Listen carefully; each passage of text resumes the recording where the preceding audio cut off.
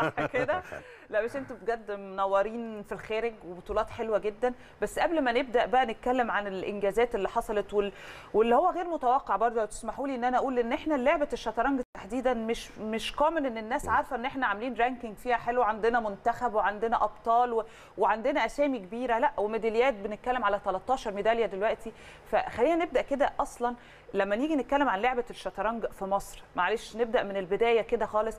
إمتى ابتدى يحصل الطفره كابتن هشام. وإمتى ابتدينا نشوف لعيبة مت... يعني متألقة جدا؟ وإيه الدول كمان اللي هي فيها تنافسية مع مصر بشكل كبير؟ هو طبعا اولا بشكر النادي الأهلي إحنا متابعين مع حضرتك. آه لا الحقيقة أنتوا لكم دور كبير في التعريف بالشطرنج وانجازاته لأن دي مشكلة إحنا بنعاني منها في الناحية الإعلامية.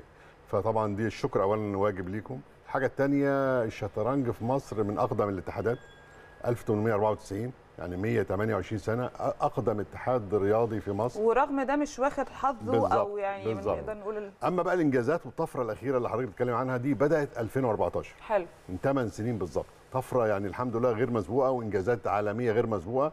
بدأت في النرويج آه 2014 لأول مرة منتخب مصر الرجال والسيدات في الشطرنج ياخد ميدالية ذهب في أولمبياد عالمي للشطرنج. 180 دولة و... ما شاء الله. وتجمع عالمي كبير. فحققنا الأول يعني إحنا من 1800 و2014 كانت أول مرة ناخد ميدالية ذهب كإنجاز عالمي ميدالية ذهب في أولمبياد والفرق. أول مرة. وللفرق. كان أول مرة تحصل أوكي. في 2014 في النرويج وبعدين اتكررت في 2018 في جورجيا منتخب الرجال. كويس.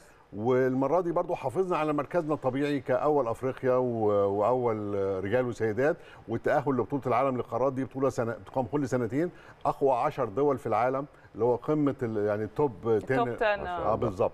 فدي الحمد لله دي الإنجازات كفرق واما النتائج الفردية فالحمد لله كتير طبعا الكابتن أحمد عدلي أول لاعب عربي بطل العالم بنتكلم. بطل العالم للشباب 2007 في أرمينيا واخد اللقب من أبطال روسيا وأبطال العالم فكان